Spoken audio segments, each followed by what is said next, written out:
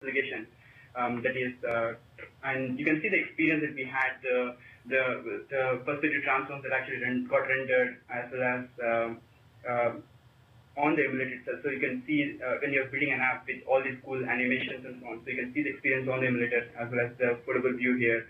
As, and if you want to scroll through stuff and then, uh, so you can scroll through that. And this has the panorama uh, pivot control, uh, which essentially is helping you to actually look at. So I'm, I'm not doing anything, I'm not using mouse at all. I'm touching onto the screen, see the experience of uh, how the app behaves on the emulator, and then see the same touch experience on the device as well.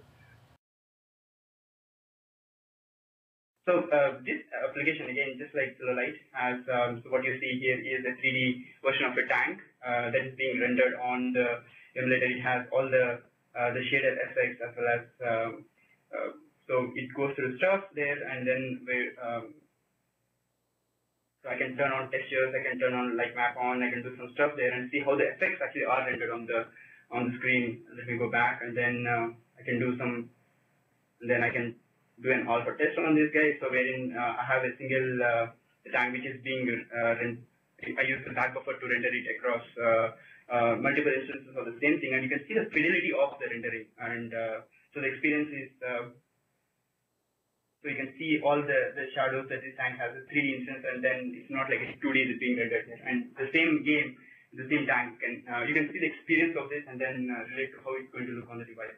And here is uh, a 3D uh, object that is created, a body walking through, and then you can you can use the uh, screen actually just move stuff across and uh, see how the various views that are uh, uh, available for this, and then and it gets it right here, um, and then see yes, uh, how the object is being rendered, and then see if you have any pixelations or any uh, how the pixels are looking like, and then go and fix them.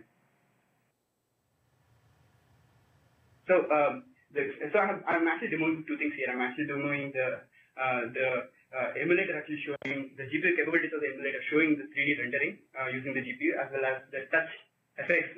I'm using the touch and actually using my finger to actually see rotate this object and so on.